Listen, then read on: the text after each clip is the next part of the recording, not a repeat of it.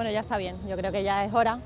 Eh, llevamos 276 eh, condenas rebajadas o violadores en la calle y yo creo que es una cuestión de humanidad, que la soberbia infantil que están demostrando tanto el Partido Socialista como Podemos deberían dejarla en un cajón y pensar de verdad en las mujeres y en la protección que realmente merecemos. ¿Qué le parece que Irene Montero haya cargado tanto contra los jueces como contra los partidos de derecha por hacer una campaña contra el gobierno por la ley del solo sí es sí?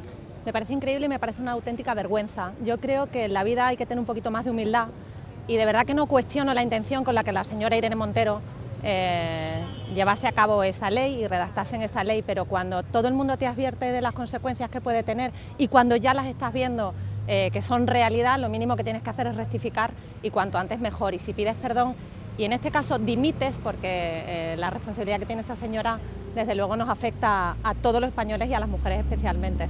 ¿Y María es partidaria de esa reforma que plantea ahora el gobierno de la ley del solo sí es sí, que el PP, tu partido, apoye esa reforma?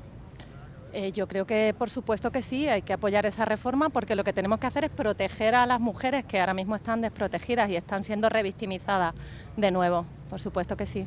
Muchas gracias.